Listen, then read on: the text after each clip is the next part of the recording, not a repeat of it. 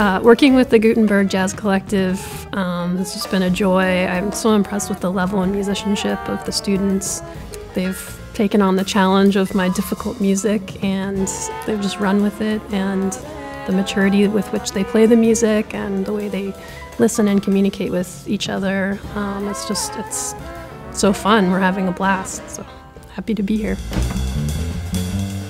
Well, it's a unique opportunity to participate in this program. I think they get to work with great artists from all over the world. The ways that ideas and musical language is passed down to other generations is through learning compositions and music of, of great composers and performers. So it's part of learning the tradition and where the tradition's going, and I just think this is a wonderful program that any young person would benefit from.